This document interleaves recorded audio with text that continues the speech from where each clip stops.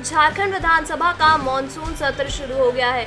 विधानसभा अध्यक्ष ने अपने संबोधन में कोरोना महामारी की विभीषिका को याद किया और टोक्यो ओलंपिक में भारत के प्रदर्शन, खासकर झारखंड की बेटियों के प्रदर्शन की सराहना की। सभी सदस्यों से सदन को शांतिपूर्ण तरीके से चलाने की अपील भी की है। इसके बाद राज्य के स्थानीय उम्मीदवारों का नियोजन विधेयक झारखंड विद्युत शुल्क संशोधन विधेयक, झारखंड क्षेत्रीय विकास प्राधिकार संशोधन विधेयक और झारखंड मोटर वाहन करारोपण संशोधन विधेयक सभापटल पर रखा। अभी विधानसभा अध्यक्ष शोक प्रस्ताव पढ़ रहे हैं। अपने शोक प्रस्ताव में वे देश के उन विभूतियों को याद कर रहे हैं, जिनका इस वर्ष निधन हो गया है। बता दें कि आज से शुरू हो रहा है ये मानसून सत्र।